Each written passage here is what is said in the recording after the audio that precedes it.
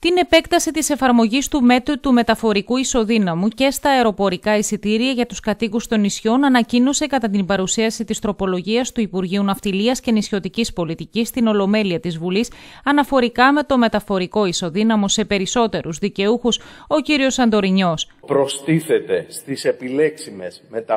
μεταφορικές δυνατότητες των νησιωτών και η αεροπορική μεταφορά, η οποία είναι ιδιαίτερη ζωτικής σημασίας, ιδιαίτερα για ευάλωτες ομάδες πληθυσμού, όπως είναι ηλικιωμένοι, όπως είναι ασθενείς κτλ.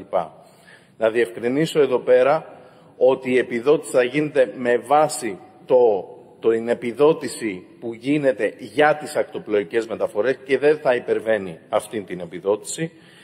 και επίσης ότι δεν επιδοτούμε αεροπλάνα και καράβια, επιδοτούμε τους ίδιους τους νησιώτες οι οποίοι μεταφέρονται. Ο κύριος Σαντορνιός ανακοίνωσε και την επιδότηση για τα καύσιμα, καθώς εκδόθηκε η κοινή υπουργική απόφαση για την επιδότηση των πρατηριούχων καυσίμων που βρίσκονται στα νησιά. Παρατείνεται η πιλωτική εφαρμογή ε, των καυσίμων ε, για έξι μήνες επιπλέον, διότι έλυγε μέσα στο καλοκαίρι, τον Ιούνιο, και επομένως δεν μπορούσαμε να έχουμε αρκετά δεδομένα με βάση και την τουριστική περίοδο. Γι' αυτό το λόγο παρατείνουμε την εφαρμογή.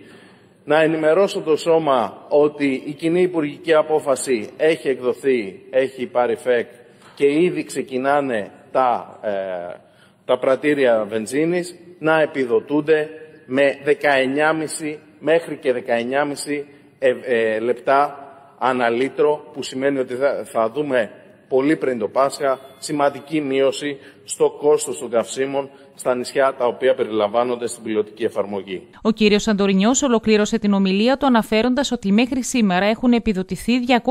200.000 εισιτήρια, 9.500 αιτήσεις χρηματοδότησης επιχειρήσεων έχουν ήδη διεκπαιρεωθεί, το μεταφορικό κόστος των προϊόντων των επιχειρήσεων έχει μειωθεί κατά 43%.